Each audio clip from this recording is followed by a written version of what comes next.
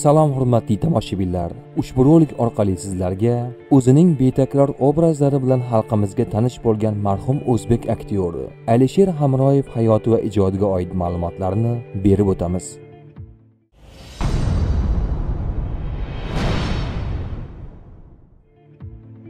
Alisher Hamroyev 1976-yilning 2-yanvar sanasida Buxoro viloyatining Kogon shahrida tug'ilgan. U yoshligidan san'atga qiziqqani bois maktabni tamomlab toshkentga kelgan. Hamda o'zbekiston davlat san'at va madaniyat oliygohiga o'qishga kirib drama va kino aktyorligi bo'limida tahsil olgan. Ushbu oliygohda u xalqimizga tanish aktyor uchqun tillayev bilan bir kursda o'qigan. Oliygohni tamomlagach aktyorlik faoliyatini o'zbek milliy akademik drama teatrida boshlagan. Ushbu teatrda ishlash davomida u o'nlab spektakllarda ishtirok etgan.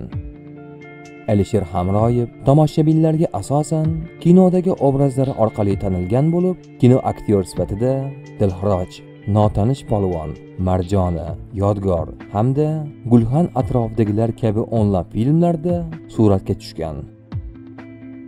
Ming afsuski ushbu aktyor 2005 yil 29 yoshda saraton xastaligi sabab olamdan o'tgan.